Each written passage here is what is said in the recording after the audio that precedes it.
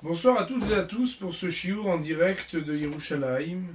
Eh bien, en ces périodes un peu difficiles pour le clan Israël, en particulier en Terre Sainte, en Eretz Israël, eh bien notre chiour, nous le dédicacerons, nous le dédierons à la paix, au shalom. Et justement, eh bien, ce soir, avec un ton et un ordre un peu différent des autres mercredis soirs, pour ce cours en direct, eh bien, nous nous baserons sur le propos de Raphaël Shmulevitz. Raphaël Shmulevitz, eh bien, c'était le Rosh Yeshiva, c'est-à-dire le directeur de l'école talmudique de Mir. Mir, c'est une école talmudique qui était en Europe de l'Est, qui a dû ensuite, durant la guerre, eh bien, partir à Shanghai, et qui ensuite eh bien, a pu s'établir à Jérusalem. Cet établissement compte près de 5000 élèves et cet homme était un érudit extraordinaire dans le Talmud, dans la pensée. Il est décédé eh bien, le 3 Tevet, c'est-à-dire que cette semaine c'était son Yortzeit, c'est l'anniversaire de sa mort. Et j'ai trouvé dans un des ouvrages qu'il a écrit des conseils qu'il a donnés les jours qui suivirent la guerre de Kippour. Et je crois que nous pourrons tirer des enseignements pour prendre des forces et savoir dans ces temps un peu difficiles comment agir. En effet, lorsque nos frères sont sur le front pour combattre, dans les airs ou sur terre, eh bien, parfois nous nous sentons un peu frustrés de ne pas pouvoir, à notre niveau, agir, intercéder. Et lorsque nous avons intitulé ce chiour Priez pour le shalom, prions pour le shalom, eh bien, nous allons voir qu'une des forces, qu'une des plus grandes réactions du peuple juif lorsqu'il est dans la difficulté, ce sera la prière. Mais sans plus attendre, eh bien, nous allons développer dans l'ordre qui était celui du Raphaël Shmulevitz les conseils qu'il nous donne. Le Rav nous cite le Talmud dans le traité de Berachot, à la page 63. Le Talmud nous dit la chose suivante, écoutez bien.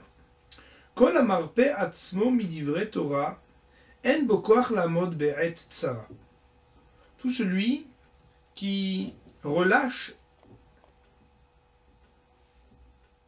l'étude de la Torah, qui se relâche donc dans l'étude de la Torah, n'a pas la force de résister dans les moments difficiles.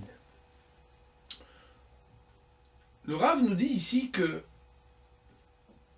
le Talmud nous révèle un secret extraordinaire. Voilà que dans les moments difficiles, eh bien, c'est là où on voit la véritable force, la véritable faiblesse, la ténacité ou la fragilité. Et lorsqu'on est touché, dans sa chair, lorsqu'on est touché parce qu'on touche notre propre, peuple, pardon, lorsqu'on touche nos proches, eh bien nous ne savons pas comment réagir. Nous sommes affectés et nous vivons et tsara, des moments difficiles. Le Talmud nous dit pourtant que c'est seulement celui qui se relâche de l'étude de la Torah qui va se sentir fragilisé. D'ici donc nous apprenons un premier secret, c'est que pour pouvoir garder la force qui est la nôtre, malgré les difficultés, il faut avoir un lien avec le message que Dieu nous a donné, avec l'étude de la Torah. D'ailleurs, eh bien, même nos épouses, nos filles, nos mamans, qui, comme vous le savez, n'ont pas les mêmes obligations quant à l'étude de notre sainte Torah. Puisque nous le savons bien, eh bien, l'étude de la Torah incombe en particulier aux hommes. Malgré tout, il est marqué dans cette même page du Talmud que le mérite de nos épouses, des mamans et des petites filles, c'est-à-dire indépendamment de leurs mitzvot, des mitzvot qui sont propres à la féminité juive, eh bien, ce qui fera leur plus grand mérite pour le monde futur, nous dit le Talmud, c'est lorsqu'elles attendent leurs époux, qui reviennent d'un cours de Torah, ou qu'elles accompagnent leurs enfants, qui partent à l'école juive pour apprendre le Talmud Torah, c'est-à-dire apprendre l'alphabet, la récitation des versets, et l'étude à proprement parler de la Torah écrite et de la Torah orale. Autrement dit, il existe un lien particulier entre le peuple juif et sa Torah qui va le faire se maintenir et qui va le faire supporter et surmonter les épreuves. Le monde entier pourrait être fragilisé, mais ceux qui ont un lien à la Torah, ce message divin, ce message infini, eh bien, va renforcer les cœurs, va faire qu'on ne soit pas fragilisé, là où pourtant, eh bien, le monde entier pourrait nous plaindre. En effet, le message de la Torah est plein de foi, est plein de conviction dans le lien que nous avons avec notre Créateur. Ce lien, il nous rassure, ce lien, il nous laisse confiants. Et le premier message, c'est donc qu'à notre niveau, nous sachions que même si bien nous ne sommes pas au combat, pour beaucoup d'entre nous, eh bien, il n'en reste pas moins le conseil et le principe qui va nous faire nous renforcer, rajouter, que ce soit dans la quantité ou dans la qualité, de notre rapport à l'étude de notre Sainte Torah. En effet, nous avons déjà évoqué à plusieurs reprises que l'étude de la Torah, ce n'est pas seulement un savoir. Bien sûr, il est normal de lire et de comprendre, mais à la différence des autres disciplines qu'on pourrait dire universitaires, académiques, l'étude de la Torah, c'est d'intérioriser des valeurs, d'intérioriser des principes pour véritablement redéfinir son être à chaque ligne et à chaque page du Talmud. Le premier conseil que nous donne Raphaël Shmulevitz, c'est de se renforcer. Alors, à chacun, bien aujourd'hui c'est très facile d'étudier, même en cliquant, vous êtes bien placé pour le savoir, mais aussi eh bien d'organiser pour justement se renforcer, pour aider nos frères, pour aider le peuple juif, eh bien rajouter des mérites en organisant un petit shiur chez soi ou au sein de la communauté. Ajouter un peu de Torah dans notre quotidien, améliorer les heures pour faire que dans la qualité eh bien, de ce que je vais avoir comme rapport à la Torah, eh bien, je rajouterai quelque chose. C'est le premier conseil que Raphaël Shmulevitz avait donné jadis lorsqu'il s'agissait d'heures très difficiles pour le peuple juif.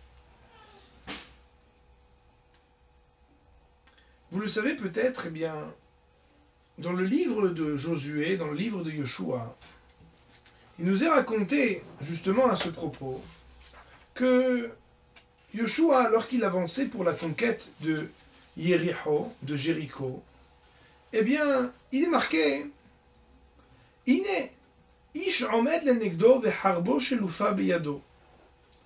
a rencontré un homme qui se tenait devant lui, et cet homme avait un glaive qui était ouvert et bien entendu, vous savez bien qu'un glaive sorti, eh bien, ça ne laisse pas présager de bonnes choses. Alors, Yoshua, qui dirigeait la conquête de la terre d'Israël, après la mort de Moshe Rabbeinu, l'interrogea. Il lui a dit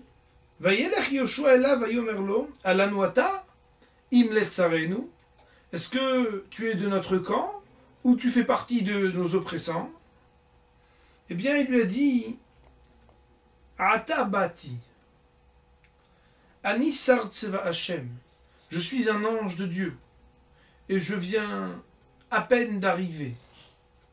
Les commentateurs vont expliquer qu'il essayait de lui dire par là que puisque je viens juste d'apparaître, tu peux me croire, je ne suis qu'un ange. Je porte un message de Dieu je n'ai aucunement l'intention de vous porter préjudice je ne fais pas partie des peuplades qui peuplent la terre d'Israël avant votre conquête. Seulement, l'expression Atabati, c'est maintenant que je suis venu, est commentée par le Midrash, par le Talmud, qui nous dit la chose suivante, écoutez bien. Atabati, c'était un échange entre Josué et cet ange. Josué de lui dire, mais nous savons bien que à cause du combat, nous avons dû commettre certains péchés peut-être, ou bien ne pas avoir été assez zélés pour l'application de certaines mitzvot, de certains commandements. Alors, pourquoi est-ce que tu es venu avec ton glaive? Tu viens bien quand même accuser quelque part un acte que nous avons failli. Eh bien, l'ange de répondre C'est vrai qu'hier vous n'avez pas approché le sacrifice tamide, le sacrifice quotidien. Mais Ata Bati, moi je suis venu pour le péché que vous avez commis aujourd'hui. Aujourd'hui, en effet, lui dit l'ange, vous avez délaissé l'étude de la Torah car vous avez combattu. Et quand on combat, on le sait bien, nous n'avons pas la possibilité à la fois de combattre et d'étudier. Mais malgré tout, même s'il est une mitzvah de conquérir la terre d'Israël, eh bien il n'en reste pas moins que le lien à la Torah est fondamental. Ata bati, je suis donc venu parce qu'il manquait le lien entre le peuple juif et sa Torah. C'est là, nous disent nos sages, dans le traité de Hérouvine à la page 63, que Josué, pour répondre à cette accusation, s'en est allé tout de suite étudier, approfondir très profondément les secrets de la Torah pour que ce glaive eh bien, ne soit pas utilisé contre le peuple juif.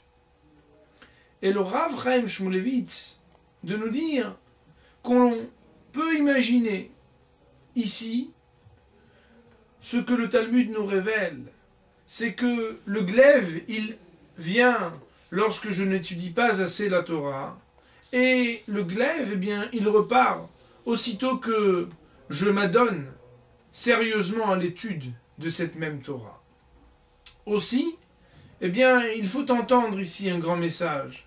C'est que si jamais nous nous sommes nous nous sentons concernés par un danger qui pourrait considérer qui pourrait pardon, constituer quelque part un glaive contre nous, il faut savoir que ce glaive, il ne vient que parce que quelque part, peut-être, je n'ai pas encore assez étudié, je ne me suis pas encore assez adonné à l'étude de la Torah, ou, dans tous les cas, dès que je voudrais bien faire partir, faire fuir ce danger, il me suffira de me lier toujours plus et toujours mieux à la Torah, à ce message extraordinaire que Dieu va me donner. Ça, c'est le premier message de Raphaël Shmulevitz. Le deuxième message, eh bien, il justifie l'intitulé de notre cours. Il s'agira de la prière. Écoutez bien. Lorsque la Torah nous parle de la guerre contre Midian, eh bien, la Torah utilise une expression très particulière. Elle nous dit Elef lamate, elef lamate, tishlechu la Vous enverrez mille hommes, mille hommes par tribu pour partir en guerre. Tout le monde aura compris le sujet du Midrash, c'est cette redondance. On n'a pas besoin de dire à deux fois qu'on devra envoyer mille hommes par tribu. Il suffirait de le dire qu'une seule fois.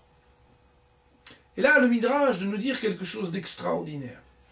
Le Midrash nous dit, eh bien, le premier millier que l'on devra envoyer, c'est pour l'envoyer sur le front. Mais le deuxième millier, eh bien, il faudra qu'il se tienne pour la prière. Et donc là, Moraï Verabotaï, on nous apprend quelque chose d'exceptionnel. On nous apprend que dans la Torah elle-même, la répétition de Elef Lamaté, Elef exige qu'à chaque combattant qui partira sur le front, il puisse avoir quelque part un jumeau qui reste, quant à lui, pour prier, afin d'octroyer des mérites, afin d'appeler la bénédiction, pour que le combattant puisse arriver à la victoire.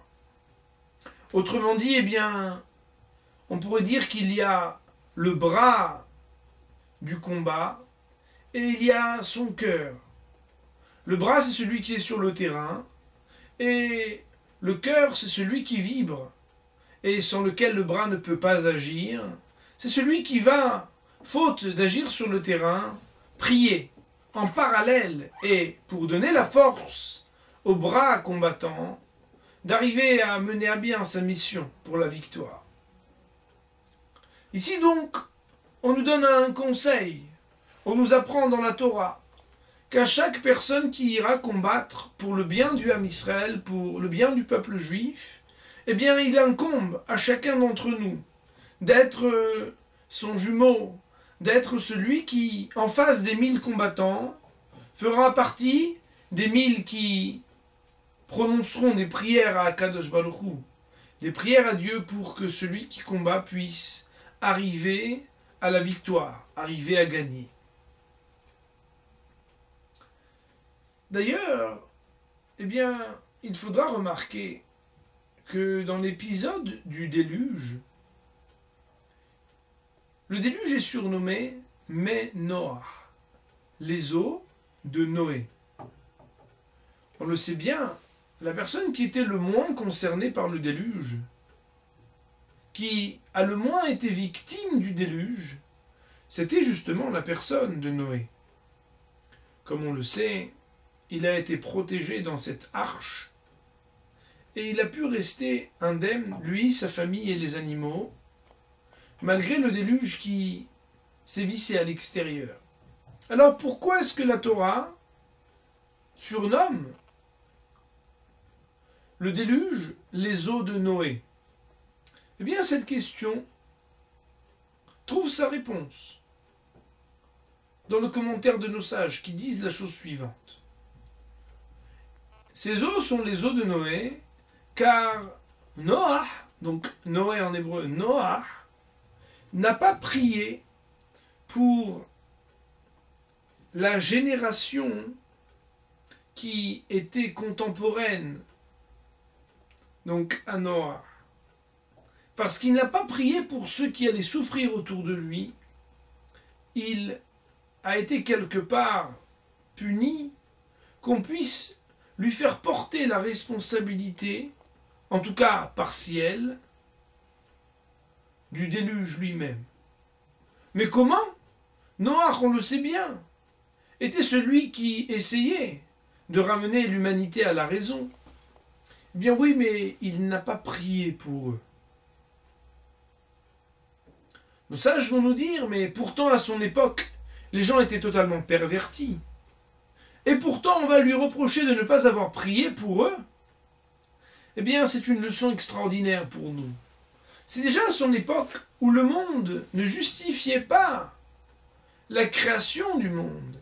C'est-à-dire que l'humanité tout entière était pervertie, était Anshe Hamas, c'est-à-dire des hommes qui dérobaient les uns aux autres tout ce qu'ils avaient, qui ne respectaient pas les mœurs, qui n'avaient aucune fidélité dans leur couple, eh bien, si pour ne pas avoir prié pour des personnes pareilles, Noach, quelque part, eh bien, on va le lui reprocher, combien de fois plus à notre niveau nous devons considérer non pas notre petit quotidien avec notre petit confort personnel et individuel, mais toujours réfléchir à, Am Israël, le destin et le dessein du peuple juif, ses souffrances, ses difficultés, et Dieu nous préserve ses victimes.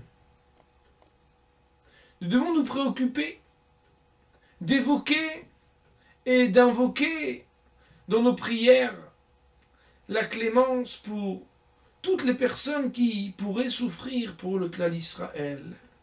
Et penser à ce que lorsque je prie pour moi, eh bien je ne prie pas pour moi. Je prie pour ce peuple uni qui s'appelle le peuple d'Israël. On le sait, les prières sont récitées toujours au pluriel, car on est le représentant, nous dit le Gon de Vilna, du peuple tout entier, quand on demande à Dieu de nous donner ses bénédictions.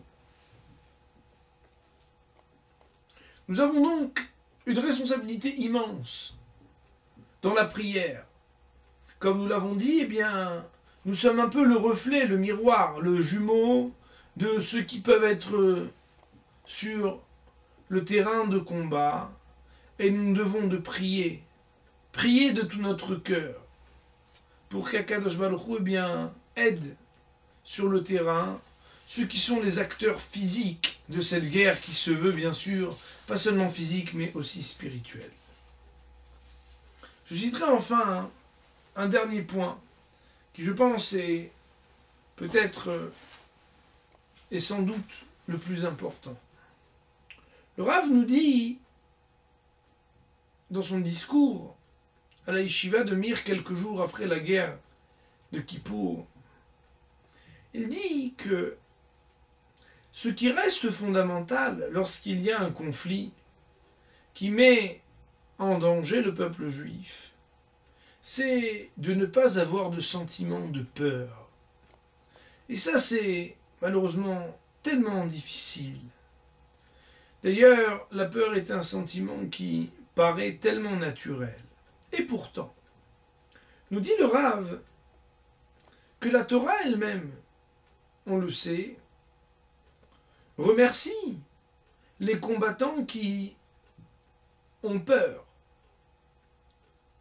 Ish ayare verach alevav, un homme qui est craintif, qui a le cœur qui est fragile, n'a pas le droit d'aller au combat. Tout simplement, eh bien, parce que le traité de Sota, à la page 45, nous dit que ceux qui prendraient la fuite parce qu'ils ont peur, eh bien, ce serait le premier pas vers la défaite, le premier pas pour la victoire de nos oppresseurs, Bar Minan, Dieu nous en préserve. Pourquoi?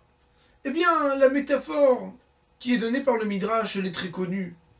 C'est que, comme un chien qui sent quand on a peur et qui vient nous mordre parce qu'on lui laisse entendre qu'on est fragilisé par sa présence, par ses aboiements, eh bien, le peuple juif a quelque chose qui doit l'empêcher totalement de se sentir fragile. Mais comment est-ce possible? Voilà que les chiffres, la menace, l'agressivité, les discours sont a priori objectifs. Eh bien, Moraï Rabotai, il ne faut jamais oublier.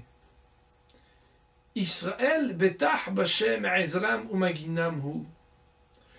Israël, le peuple juif, a, écoutez bien ce mot magique, la confiance en Kadosh Baruch Hu. Ezram, Umaginam, Hu? C'est lui qui sera leur aide et leur bouclier. Le peuple juif a une promesse, la promesse divine, la promesse de la protection. Cette promesse, eh bien, elle nous permet, malgré tout ce que le monde entier pourrait nous viser, pourrait médire de notre comportement et médire de notre avenir, nous laisse envisager le meilleur avenir. Les fahed, avoir peur, eh bien, c'est considérer l'instant, c'est être victime de ce que les médias, les images et les mauvais commentaires, eh bien, pourraient nous faire croire que c'est les hommes qui font l'histoire de l'humanité. Nous nous savons bien que depuis la nuit des temps, les périodes qui ont marqué le cours de l'histoire du peuple juif n'ont pas toujours été faciles. ça n'est pas la première fois, mais à chaque génération, ne disons-nous pas dans la Haggadah du soir de Pâques, les nations du monde, eh nous en veulent. Et pourtant, à chaque génération, et depuis la nuit des temps, le peuple juif a pu survivre, et toujours avec le même attachement à sa Torah, à l'application des mitzvot, et aujourd'hui à l'attachement au lieu qui lui a été promis depuis la nuit des temps pour être la promesse, déjà à Abraham, d'avoir la légitimité sur la terre d'Israël. Nous savons que notre confiance en Dieu est la meilleure garantie. Tout d'abord de ne pas craindre les ennemis, mais aussi d'adresser des prières du plus profond de notre cœur à notre Père qui est dans les cieux, pour que dans sa clémence et sa miséricorde, il accorde une victoire, il accorde un shalom, une paix, et que dans l'étude de notre Sainte Torah, nous puissions toujours réfléchir profondément sur le lien qui caractérise le peuple juif, plus que tous les peuples, dans ce qu'ils ont pu recevoir comme un message, mais comme un lien, comme une alliance éternelle qui, depuis la nuit des temps, ne nous a jamais fait défaut et qui, Bezrat Hashem, nous accordera très bientôt que de ces temps de guerre, nous entendions très bientôt la voix du libérateur avec la reconstruction du temple à Yerushalayim. Bimhera beyamenu amen.